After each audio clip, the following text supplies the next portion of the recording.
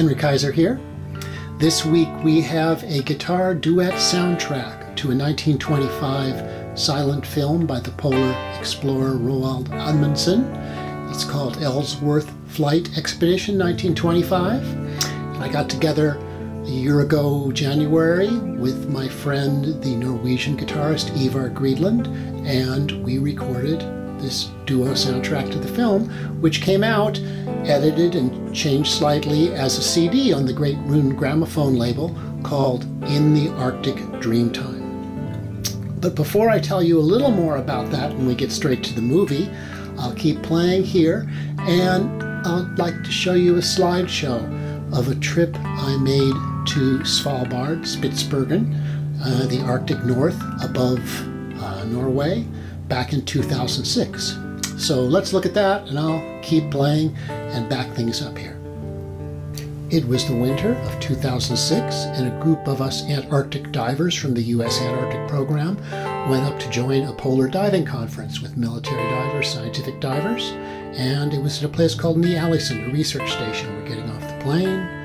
It was the middle of winter, so the sun was barely above the horizon for an hour or so a day get around by snowmobile or sledge. We'd have to drag our dive gear out on the sea ice. And it was a place that was full of history. Old train there. There was the Zeppelin station. There are these little footprints. What are those? Well, they were Arctic foxes, which were uh, kind of a special thing to have in the polar environment, something we don't have anything like in Antarctica. So they were fun to look at. They're cute. So we did several days of diving. We didn't have any vehicles, so we'd either used a snowmobile or we would drag our gear out on the sea ice. We'd make dive holes and go diving. It's probably 40 below. There's me back then, 2006. Very happy. Uh, there's a diver with a full face mask, a diver on tether. And I'm getting ready to dive here, carry my dive gear off the sledge I've dragged it out on, made a triangular dive hole and put my dry suit on, got my Antarctic gear, my ice hood. In the U.S. Antarctic program, at McMurdo Station, we dive off tether. Notice we're not on a line, and all of the other divers there, there's ice inside my mask. There's a jellyfish. All of the other divers from the military, Swedish, Norwegian military, they dive on line, they dive on tether, and they were kind of horrified to see us off tether that's the way we've worked for years down there. Lots of life, not a lot of fish, seaweed, invertebrates, anemones there. There I am, happy as could be. Here we are dragging dive gear out for another dive. Out along the ice, little fox prints everywhere. I like that crossing. Getting ready for more dives two of my Antarctic pals and I, Rob and Christian. At night, there were northern lights, very spectacular. There was a station with a laser beam going up in the sky, and I'd sneak out there, probably 50 below, do time exposures and go stand in front of the camera. There's the ghost of me in a long time exposure of the night lights, and diving at twilight, diving at sunset, diving at sunrise, beautiful colored lights in the sky. They had dogs there. We don't have dogs anymore in Antarctica. They had dogs to pull sleds around. And I love northern breed dogs. I've always had a Malamute for years. And um, it was great to see them. So, economically, what they feed the dogs with is seals. They have to go out and shoot seals and butcher them. There you see some seal carcasses to feed the dogs so the dogs can do their work. That's always been the way in the Arctic. Hungry dog. We went up in the mountains, rode up there on uh, snowmobiles, and saw fantastic views. What a great place to be. Very, very, very cold from the way they're bundled up. I, I could not be happier unless I was diving. There's a little fox on that snow hummock. There he is. We're about to leave now. Fox is out there to say goodbye. Old mooring mast from a Zeppelin, the Zeppelin that had great historic impact. There's the station from the air as we fly out. So long. Goodbye, Ny-Ålesund. So it was a great experience to be there in the high Arctic, and there's a lot of history associated with this place. And a surprising thing is how my trip there ends up connecting with the film that we did the soundtrack for, which I'm going to show you and tell you a little more about now. Ivar Grydeland and I met up for the first time in his Oslo, Norway studio back in January of 2019 we were planning to collaborate on a new guitar duet soundtrack for a classic Norwegian silent film. We had more than several films to choose from, but first off, as a recording test, we chose Roald Amundsen's Ellsworth Flight Expedition 1925. And we thought we'd just play for a few minutes, but we played live as a duo for the entire film. And when we were done, we were so shocked and happy with the results that we stopped recording then and there and mixed the project over the next few days.